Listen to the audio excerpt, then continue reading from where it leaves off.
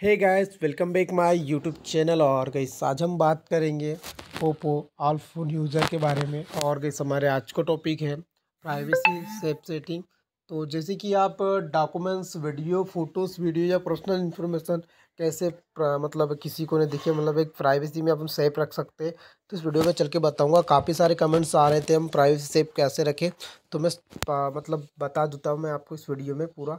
तो आप सेटिंग पे आ जाइएगा, उससे पहले हमारे चैनल को लाइक कर लीजिएगा और बेल आइकन पिन प्रेस कर लीजिएगा, ठीक है? तो यहाँ पे आपको आ जाना है प्राय पासपोर्ट एंड बायोमेट्रिक पे, एंड यहाँ प्राइवेट एंड पासपोर्ट पे जाइए, जो पासपोर्ट आपने क्लिक कर लेना नया बना लेना है, या फिर उसको फॉरगेट कर सकते हैं, ठीक है? तो मैं, मैंने पासपोर्ट पहले से ही बना के रखा हूँ तो क्लिक करता हूँ।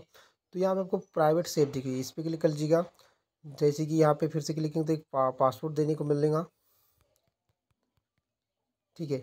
तो यहाँ मैंने एक हाथ फ़ोटो वोटो से मैंने ये क्लिक करके रखा हुआ है प्लस कर प्लस कर लेता हूँ और मुझे मतलब ये फ़ोटो चाहिए तो मैं डन कर लिया। ये जो मैंने यहाँ से मतलब ये हो चुकी है, अगर से आपको इसे फ़ाइल में चाहिए तो फ़ाइल सेव सेट पब्लिक कर सकते हैं, डिलीट भी कर सकते हैं यहाँ से।